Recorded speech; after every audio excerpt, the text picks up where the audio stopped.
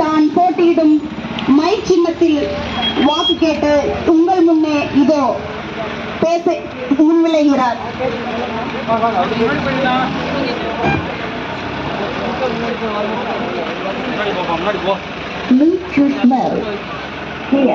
பிரம்மதேசம் வாழ அனைத்து தமிழ் சொந்தங்களுக்கும் எனது அன்பான வணக்கம். நான் உங்கள் நாம் தமிழர் கட்சியின் வேட்பாளர் மருத்துவர் அபிநயா. ஆமா மட்டி நான் தான் நிக்கிறேன். நான் தான் வேட்பாளர். என்னை என்னைய பாருங்களேன் என்னைய பாருங்களேன். உங்க வீட்டு புள்ள மாதிரி தானே இருக்கேன். உங்க பக்கத்து வீட்டு புள்ள மாதிரி இருக்குண்ணா. மற்ற ரெண்டு கட்சியோட வேட்பாளர் உங்களுக்கு உங்க முகத்தையாவது வந்து பாக்குறாங்களா பாட்டிமா யார் வந்து நல்லது செய்வாங்கன்றத சிந்திச்சு செயல்படுங்க. உங்க வீட்டு புள்ள உங்க ஊரு புள்ள எளிய மகள் பெரிய பெரிய அரசியல் வாரிசு கிடையாது. காலகாலமா அரசியல் பண்ணவங்க கிடையாது நாங்க. எங்ககிட்ட கோடி கோடியா பணம் கிடையாது. உங்க வீட்டு பிள்ளைய தேர்ந்தெடுத்தா தானேம்மா இந்த மாதிரி ஏதாவது ஒரு கஷ்டம்னா வந்து நிப்பாங்க. இப்ப நான் சொன்னேன் இல்லையா அரசியல் வாரிசு கோடி கோடியா பணம் வச்சிருக்கோம். அவங்க எல்லாம் வந்து எப்படிம்மா நல்லது செய்வாங்க? அவங்க எப்படி மொதல் உங்ககிட்ட வாக்கு சேகரிப்பாங்க? கடைசி நாள்ல காசு ஏதாவது கொடுக்கறதுனா கொடுத்துட்டு ஓட்டு போட்டுருங்க. இந்த சின்னத்துக்கு ஓட்டு போடுங்கன்னு கேட்பாங்க. இப்ப நான் ஒண்ணு கேக்குறேன். ஒரு கடன் கொடுக்குறீங்க நீங்க. ஒருத்தவங்க கிட்ட ஒரு ஐயாயிரம் ரூபாய் கடன் கொடுக்குறீங்க.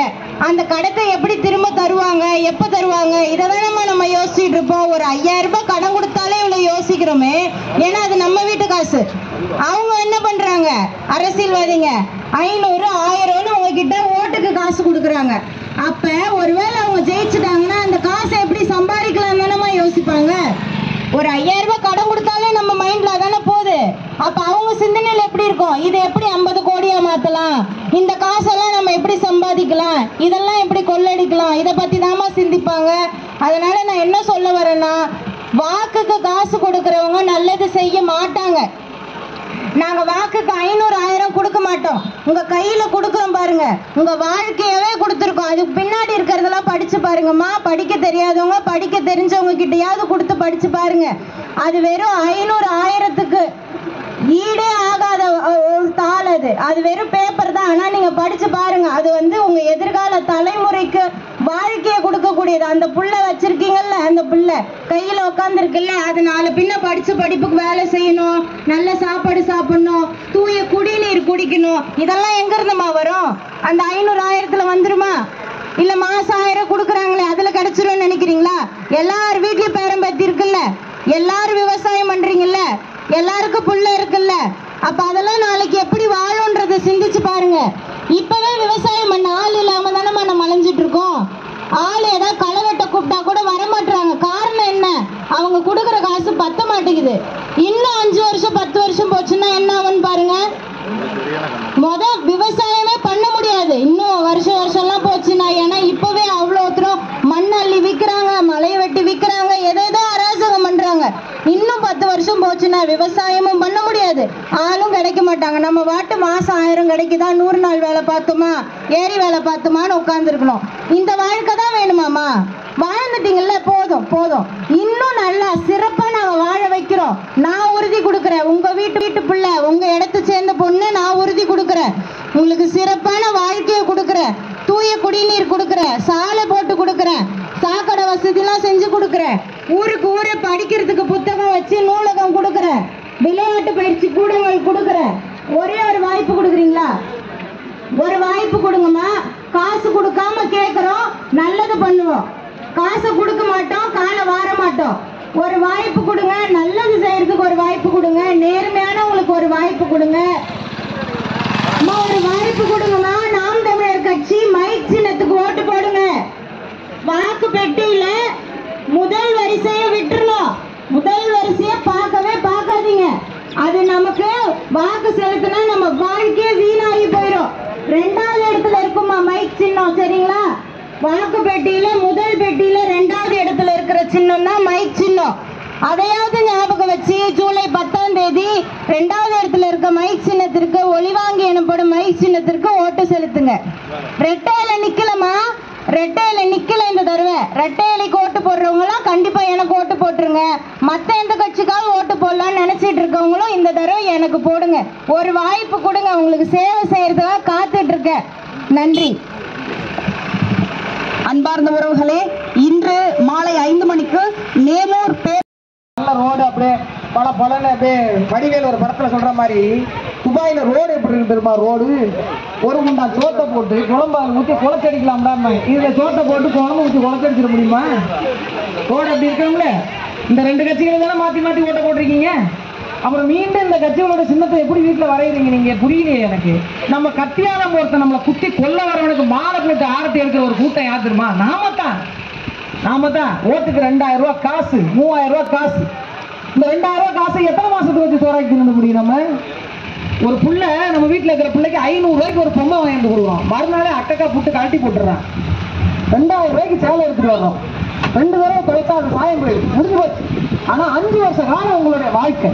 அந்த வாழ்க்கையை கொண்டு போய் ரெண்டாயிரம் ரூபா மூவாயிரம் ரூபாய்க்கு அடகு வச்சுட்டு என் சாதிக்காரன்னு ஓட்டு போட்டேன் என் மதத்துக்காரன்னு ஓட்டு போட்டேன்னு ஓட்டு போட்டோம். உங்கள் வீட்டில் படித்த பிள்ளைங்க இருக்காங்கல்ல அந்த பிள்ளைங்க நல்ல திறமசாலியாக கூட இருக்கட்டும். அவங்களை அழைச்சிட்டு போய் உங்கள் சாதிகாரன் ஓட்டு போட்டு ஜெயிக்க வச்சிங்கல்ல அவர்கிட்ட போய் காசு கொடுக்காம ஒரு வேலை வாங்கிட்டு வந்துருங்க பாப்போம் அரசாங்கத்து வேலை. முடியுமா? ஓட்டு போட்டு முடிஞ்ச பிறகு அவர் வீட்டுக்கு போனால் நம்மளை உள்ள- விடுவாருங்களா விடுவாங்களா வெள்ள நிப்பாட்டுறது என்னதான் என்ன? வேங்குறாங்க ஆடு மாடை கூட அப்படி பேச மாட்டாங்க. நம்மளை அந்த அளவுக்கு நடத்துறாங்க. இவர்களுக்கு தான் நீங்க மீண்டும் வாக்கு செலுத்த போறீங்களா? இந்த உதயசூரியன் மூன்றாண்டு காலத்துல என்ன செஞ்சிருச்சு? மீண்டும் அன்னியூர் சிவா நிற்கிறார் பூலேந்தி ஐயா என்ன பண்ணாரு? என்ன பண்ணாரு? வீதிக்கு வீதி சாராய கடை திறந்து வச்சாரு. அதுல மாசம் பன்னெண்டாயிரம் ரூபாய் நம்மள்ட்ட இருந்து புடுங்கினாரு. ஒரு நாளைக்கு ரெண்டு கோட்டுருந்தேன்.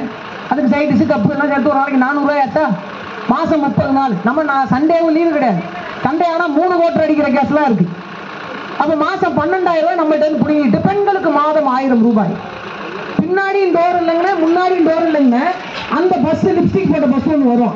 அதில் பெண்களுக்கு பேருந்து இலவசம். உண்மையிலே பெண்களுக்கு என்ன கொடுத்துருக்கணும் தெரியுமா? நல்ல வேலை கொடுத்துருக்கணும். ஒரு நாளைக்கு குறைஞ்சது ஒரு ஐநூறுரூவா சம்பளத்துக்கு உள்ளூர்ல வேலை கொடுத்துருக்கணும். நல்ல பாதுகாப்பு கொடுத்துருக்கணும். அரசியல்ல பெண்களுக்கு சமமான அந்தஸ்தை கொடுத்துருக்கணும். நல்ல கல்வியை கொடுத்துருக்கணும். கூப்பிட்ட தூரத்துல மருத்துவமனை கொடுத்துருக்கணும். என் பிள்ளை படிக்கிற பள்ளிக்கூடமும் உதயநிதி ஸ்டாலின் ஐயாவுடைய மகன் படிக்கிற பள்ளிக்கூடத்துல இருக்கிற கல்வி ஒரே மாதிரி இருக்கா? வீட்டுக்கு வீடு வச்சிருக்கோமே? அண்ணியும் சிவா அவர்களுடைய பிள்ளை எங்க படிக்குது? எங்க வளருது? நம்ம பிள்ளை எங்க படிக்குது? எங்க வளருது? பொம்பளை பிள்ளை படிக்கிற பள்ளிக்கூடத்துல கழிவறைக்கு கதவு இல்லை. வீதிக்கு வீதி சாராய கடை. கள்ளக்குறிச்சி சேர்த்து கேள்விப்பட்டீங்கல்ல? அறுபத்தஞ்சு பேருக்கு மேல செத்து போயிட்டாங்க.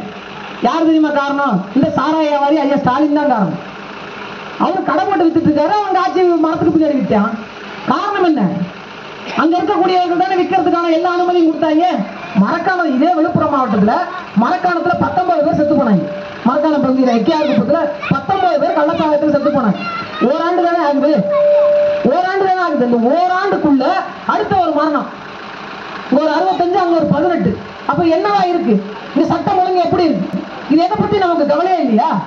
நான் பரம்பரை பரம்பரை அண்ணா திமுகங்க. நான் பரம்பரை பரம்பரை திமுக. என்ன பெரிய ராஜராஜ சோழன் பரம்பரையா? ட்ரெயினுக்கு கொடுக்க காசு இல்லாம கள்ளத்தனமா ட்ரெயின் ஏறி வந்த கூட்டம் தானே இது? இவங்களுக்கு எப்படி இந்தியாவோட ஐந்தாவது பெரிய பணக்கார குடும்பம் எங்க இருந்து சொத்து வந்தது? எங்க இருந்து வந்தது? இதெல்லாம் சிந்திச்சு பார்க்கணும் நீங்க. ஐயாயிரம் ரூபாய் கூட ஓட்டுக்கு பணம் கொடுக்கட்டும். ஒரு பசுமாடு என்ன விலை விற்குது அஞ்சாண்டு காலம் உங்க தலையினுடைய விலை என்ன? ஐயாயிரம் ரூபாய் வாங்கி என்ன செஞ்சிட முடியும்? ரெண்டு குழு கட்டிடுவோமா? செக்கிட்டாஸ் கிராம விடியது சமஸ்தா குமஸ்தா எல்என்டி எத்தனை குழு வருது? ஒரு நாளைக்கு ஒரு ஊருங்க. வாங்கி எத்தனை குழு கட்டுவீங்க ரெண்டு குழு? முடிஞ்சு போச்சு அதுக்கு பிறகு உங்களுக்கு தண்ணி எங்க இருந்து வரும்? எங்க இருந்து உங்களுக்கு மின்சாரம் வரும்? கரண்ட் பில் எவ்வளவு கட்டுறீங்க மாசம்? கரண்ட் பில் விலைவாசியில ஒழுங்கா வைக்குதா? ஒரு உங்களுக்கு தக்காளி இருநூறு ரூபாய்க்கு விற்குதா இல்லையா? யார் இது? இதையெல்லாம் பார்க்க வேண்டியது யார்? நாம் செலுத்துகின்ற வாக்கு இருக்குல்ல. அது வெறும் காசுக்கு விற்பனை பண்ணுகின்ற பண்டம் இல்ல பொருள் இல்ல. மாறாக ஐந்து ஆண்டு காலம் நம்மளுடைய உரிமை நம்மளுடைய மானம் அது. நான் யாரை எனக்காக தேர்வு செய்து சட்டமன்றத்துக்கு அனுப்பணும் அப்படிங்கிறது கிடைச்சிருக்க ஒரு மிகப்பெரிய வாய்ப்பு. அம்மா சுதந்திரம் பெற்ற கொஞ்ச நாள்ல எல்லாருக்கும் ஓட்டு உரிமை இல்லை. பணக்காரங்க ஓட்டு போடலாம். மிராசுதாரர்கள் ஓட்டு போடலாம். உயர் சாதிக்காரவங்க ஓட்டு போடலாம். அப்பெல்லாம் பெண்களுக்கு ஓட்டே கிடையாது. எல்லாருக்கும் அந்த வாய்ப்பு போகணும்னு அது மீண்டும் உருவாக்கப்பட்டு ஆனா அந்த வாய்ப்பை நம்ம சரியா பயன்படுத்துறோமா? பயன்படுத்துறோமா? பயன்படுத்தியிருந்தா ஏன் இந்த ரோடு இப்படி இருக்கு? ஏன் பள்ளிக்கூடங்கள் சரியா நடக்கல? ஏன் வீதிக்கு வீதி டாஸ்மாக் கடைகள் வந்தது? பற்றெல்லாம் சரி செய்யறதுக்கு ஒரு வாய்ப்பு கொடுங்க. இப்ப நீங்க ஓட்டு போட்டு ஜெயிக்க வச்சு இப்ப எந்த ஆட்சி நிர்வாகத்தை அமைக்கிற யார் முதலமைச்சர் இப்ப ஒண்ணும் பண்ண முடியாது. ரெண்டாண்டு காலம் தான் அதிமுக போட்டியிடல. ரெட்டால நிக்கல. இந்த இந்த தேர்தலில் திமுக பெரிய அறாவடி பண்ணும் அராஜகம் பண்ணுவாங்க அப்படின்னு அதிமுக இந்த தேர்தலை புறக்கணிச்சது. அதற்கு பதிலாக உங்கள் வீட்டு பிள்ளைக்கு நீங்கள் வாக்கு செலுத்தி. வலிமைதான். ஒரு சாமானிய பிள்ளை வீட்டு பிள்ளையும் சட்டமன்றத்துக்கு போக முடியும். ஒரே ஒரு பெண் பிள்ளை தான் நிக்கிறா. அது சும்மா இல்ல. அவர் டாக்டர் டாக்டர் படிச்சு ஒரு இடத்துல ஒரு கிளினிக்கை போட்டு உட்காந்தானா கை நிறைய சம்பாதிக்க முடியும். ஆனா அதை தாண்டி இந்த சமூகத்தை பெரிய மாற்றத்தை உண்டு செய்யணும். அதுக்கு பேர் தான் சரியான மருத்துவம்னு உங்களை தேடி வந்திருக்கா. எங்கள் அண்ணன் சொந்தமுடன் சீமான் ஒரு மிகப்பெரிய ஒரு கனவோடு தமிழர் நிலத்தை தமிழன் ஆள வேண்டும் என்ற மாபெரும் லட்சியத்தோடு உங்கள் வீட்டு பிள்ளையாக தங்க அபிநயாவை நிறுத்தியிருக்கிறாங்க. வாக்கு செலுத்துங்க ஓட்டு பெட்டியில ரெண்டாவது இடத்துல இருக்கு. நீங்க இந்த முறை செலுத்துகின்ற வாக்குத்தான் நாளை தலைமுறையை காப்பாற்ற போகும் மீண்டும் அந்த ஐயாயிரம் ரூபாய்க்கு நம் தலையை அனுமானம் வைக்க போகிறோமா? அது சரியான அரசியலை தீர்மானிக்க போகிறோமா? நீங்க முடிவு செய்யும் நாங்க வந்தா என்ன செய்வோம் தெரியுமா? வீட்டுக்கு வீடு நாங்க மட்டும் தான் வர்றோம். வேற எந்த வேட்பாளரும் வரமாட்டாங்க. என்ன நைட்டு கோழி பிடிக்கிறவங்க மாதிரி வருவாங்க. ஒன்பது மணிக்கு மேல ஐநூறுரூவா காசு கொடுக்க ஆயிரம் ரூபாய் காசு கொடுக்க அதுவும் தெருவுக்கு இருக்க பேரம். இரநூறுவா. அவங்க டூ ஹண்ட்ரட் பாய் தம்பி. அப்படிதான் இருப்பாங்க. இரநூறுவா. இல்லைன்னா ஒரு கோட்டு ஒரு கோழி பிரியாணி. சரி இத்தனை ஆண்டு காலம் அரசியல் பண்ணியிருக்காங்களே நல்லவங்க தானே நீங்க. எதுக்கு கோட்டு கோழி பிரியாணி கொடுக்குறாங்க எதுக்கு ஓட்டுக்கு பணம் கொடுக்குறாங்க? நல்லவங்க எதுக்கு கொடுக்கணும்? அப்ப யார் நல்லவர்கள்னு நீங்க முடிவு செய்யும் நாங்கள் ஓட்டுக்கு பணம் தரலமா மக்கள் வரி பணத்தை மக்களுக்கே செலவு செய்யும் சரியான சாலை அமைச்சு கொடுப்போம். வீட்டுக்கு வீடு குடிநீர் இணைப்பு நல்ல மருத்துவம் சரியான மின்சாரம் கிடைக்கும் உங்களுக்கு. நல்ல கல்வி தூய குடிநீர் உங்கள் வீட்டில் உங்க வீட்டுல பகுதியிலே நிலம் வளம் சார்ந்த தொழிற்சாலை அதில் பெண்களுக்கு வேலை பெண்களுக்கான பாதுகாப்பு அவங்களுக்கான அரசியல் வாய்ப்பு இது எல்லாம் கிடைக்கணும் அப்படின்னா ஓட்டு பெட்டியை போய் பாருங்க. ரெண்டாவது பட்டன் மேல இருந்து ரெண்டாவது பட்டன் மைக்கு சொன்னான் ஒரே ஒரு முறை அழுத்திட்டு வாங்க. நாங்க அபிநயா வெளில வச்சு பாருங்க.